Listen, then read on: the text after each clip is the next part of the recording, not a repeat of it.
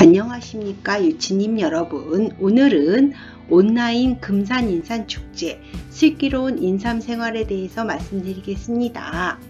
삼시세끼 인삼푸드 대회를 열고 있습니다. 주로 인삼은 집에서 주스로 갈아 먹습니다. 요구르트를 넣은 주스입니다.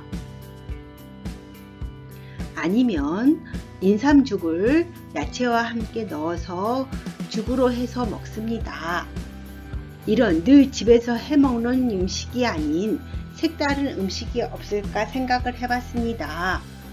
베이컨에 인삼을 넣고 베이컨 인삼말이를 해보면 어떨까 한번 생각을 해봤습니다.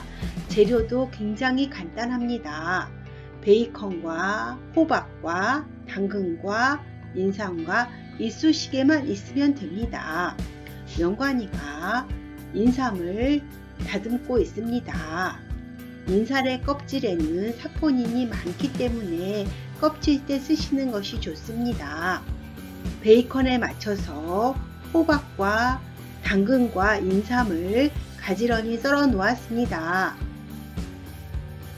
당근과 인삼이 조금 덜 익었기 때문에 먼저 2분 정도 전자레인지에 돌려주시기 바랍니다. 베이컨에 맞춰서 호박과 당근과 인삼을 넣고 단단하게 말아주세요. 영관이가 잘 말고 있습니다. 끝이 풀리지 않도록 이쑤시개로 고정되게 꽂아 주십시오.